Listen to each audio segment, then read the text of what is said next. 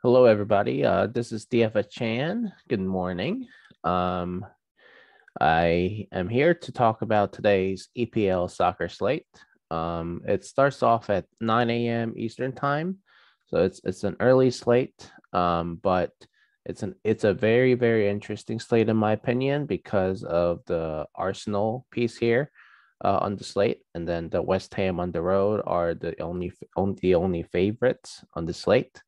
It's a three game slate, um, but we don't have Chelsea, Man City, Liverpool, you know, anything like that. Um, Arsenal is the biggest favorite at home, and they're playing against the leaky Leeds United on the on the slate. So I think a lot of people will flock toward the Arsenal pieces and stacking Arsenal pieces, which I understand for cash and optimal purposes, but for GPP, I would definitely consider fading Arsenal because they have shown some struggles before, even in a good spot like this.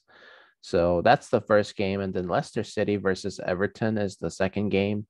Um, it, it's more of a toss up here. I know Leicester City has been struggling, but then Everton is one of the last teams on in this on the standings. So, you know, between the two, uh, you know, it's really, it, you know, it's it's a really a toss up but I'll I'll kind of talk about the players that I would that I really like um, for today's game um, and here in a second. And then the last game on the slate is Norwich City against West Ham. Like I said, West Ham is the slight favorite on the road against Norwich City because Norwich City is one of the bottom tier teams in the EPL. So, so yeah, so let's dive in.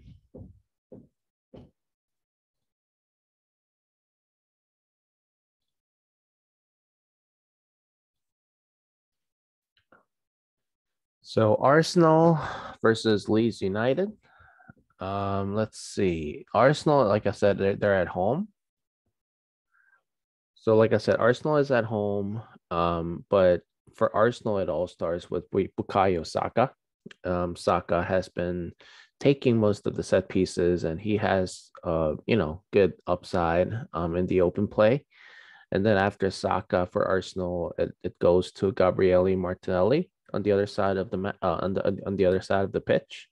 So Martinelli sometimes takes set pieces and sometimes he doesn't, but his uh, open play upside is really good, especially on the side of Raphinha. Um, uh, for Leeds, I think that's going to be the good spot for Martinelli to uh, expose for against the Leeds. So we got Saka, Martinelli, and then after that, I think it's all GPP in my opinion. Um, even their fullbacks have not been going up and down as much, like Tavares and Tomiyasu. Um, I know they're gonna be projected to start today because of the injuries to the regular fullbacks for Arsenal. And I'm not a huge believer in Tavares or Tomiyasu, so I think that's gonna be the um maybe maybe like a little slight weakness. That's a downgrade um for Arsenal in my opinion. And then for like strictly GPP purposes, yeah, I mean, like you can play Odegaard and Nketiah, you know, up top, number eight and number 30 for Arsenal um, in the middle. Um, whereas they're, you know, Odegaard likes to, he's a chance creator and he likes to, um, he doesn't like to shoot the ball. He doesn't like to cross the ball. But, you know, if the, if you think Arsenal will score, um, there's a good chance that Odegaard could get an assist or or a goal even. Um, but Odegaard in, in the middle, more of a false nine position where he's gonna dictate the pace of the game on the offensive side. I think, um, you know, working with Martinelli and Saka in the middle. So I think that can definitely happen. And Nketiah, I mean, I really like Lacazette when he used to start for Arsenal, but Nketiah is not that bad either. Um, so if you think Arsenal will score two, three goals, you know, those two guys are not the worst choices in my opinion. But I will definitely focus on Saka and Martinelli today, um, and then maybe play whoever you want for Arsenal to stack with them. And then on the other side of the matchup, Leeds United. Yeah, I mean, I would definitely consider playing Raphinha because Arsenal is not like Manchester City or Liverpool where they dominate possession. Um, so Raphinha will do will get plenty of opportunities, in my opinion, um, to score rack up points. I think he may go under owned because here he's going up against Arsenal. Um, people will probably think that Arsenal will dictate the pace of the game, but you know, it is possible. It could just turn out to be an open play, like very open game, rather. So where Raphinha can thrive in. Leeds definitely has to win this game, in my opinion, or at least tie tie this game because they are on the verge of um, falling into the relegation zone uh, against Everton here. Everton has 32 points, but they're a game behind, and Everton has a game today, uh, and on the you know on the slate as well against Leicester City.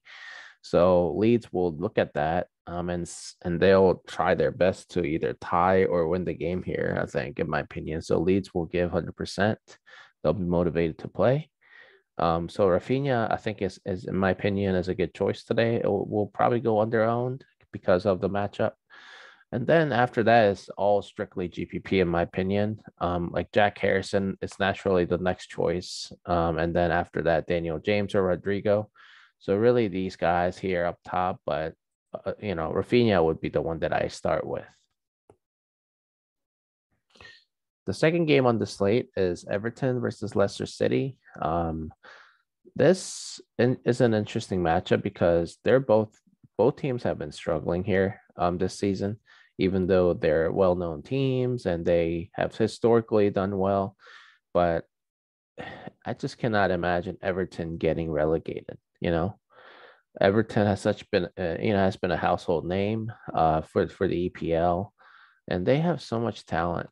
Um, I mean, with injuries, it's been know, a bit of struggle, I guess you can see here, but um, I just do not see them man, getting relegated, in my opinion, because they're game behind, like I said, on total games played. So if they win or tie, that's going to be put them closer to Leeds or at Burnley, Leeds and Burnley. Burnley has 35 games played, so Everton has two games behind them. So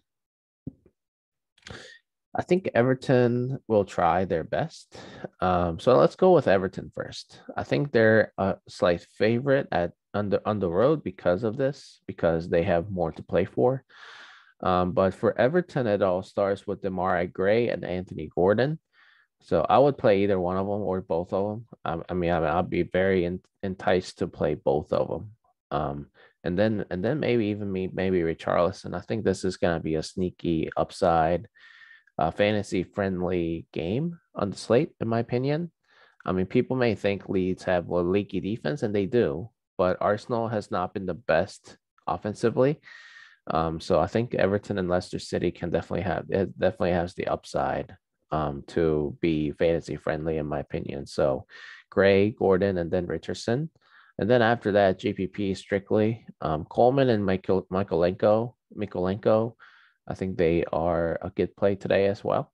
Um, but then on the Leicester City side, it all starts with Dewsbury Hall, in my opinion, unless James Maddison starting. I don't think he is. Um, Dewsbury Hall, Tielemans,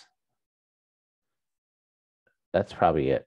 Dewsbury Hall, Tielemans, and then Barnes for GPP, Iheanacho for GPP, Perez for GPP. He might be cheap today uh, for what he is, for what his role is today. Perez, and then the fullbacks, I'm not that interested. So Dewsbury, Tielemans, and then Barnes, Iheanacho, or Perez there. So, but I think Everton is gonna um be motivated to play today, like I said. And the third and the last matchup of the slate is Norwich City against West Ham United. As I mentioned, Norwich City is at the bottom of the standings, um, along with Watford. So they are more than likely gonna lose this game. Um, and West Ham really is motivated to win this game because against Man United, they are two games behind, but they are six only six points behind. So if they win this 55, and then if they, if they win the next game, then they could be caught up to Man United for this sixth spot Europa League uh, spot there. So uh, yeah, I think West Ham is going to try very hard, but they're on the road. Um, but I wouldn't worry too much about that. Um, but for West Ham, it all starts with Jarrod Bowen. Jarrod Bowen, and then after that, it's Lanzini and then Ben. Eh, And then it's Benrahma, Lanzini, and then for GPP, Antonio, um, Cresswell, in my opinion. So I will start. I will start with Bowen, and then Benrahma, Lanzini, and then after that, probably tier below that is Antonio and Cresswell, in my opinion. I think prioritization standpoint. And then Norwich City is, I mean, like I said, I think West Ham is going to dictate the pace of the game and they're going to dominate possession, I think. But for Norwich City, if you think they'll score, yeah, I mean, Rashica is probably a natural choice and then Pukki. But those two are probably the only ones that I'll be interested in for Norwich City, where I, you know, am fully expecting them to struggle today. So yeah, West Ham, I think they'll dominate possession. Um, so I would focus on the the the the um, attacking midfielder positions, and then for Everton, and Leicester City, I think both teams are playable. Um, but for I like Everton pieces a lot more because of the the motivation that they're playing with today, with Gray and Gordon, and then Arsenal, yeah, I mean it starts with Saka and Martinelli. Um, so I think we have we have a lot of um fantasy friendly games today. So I think it's gonna they're all gonna be high scoring matches. So like if I were straight up better, I would probably bet that like more than one goal will be scored in each game or something like that. I think that should give you a good parlay uh, odds, I think, in my opinion. So yeah, anyway, that's where I'm at. If you guys have any questions, um, but once the starters come out, starter confirmation comes out at like 8 a.m. here in about an hour. I will share some notes if there is any significant um, changes that that's made um, to each, for each team. But yeah, if you want to chat soccer or if you want to um, just talk about um, soccer DFS, let me know. I'll, i can be reachable. I can be reached on, uh, you know, to Twitter, Discord, um, YouTube, you name it, at DFS Chan. So yeah, good luck everybody, and have a good one. Thanks for watching.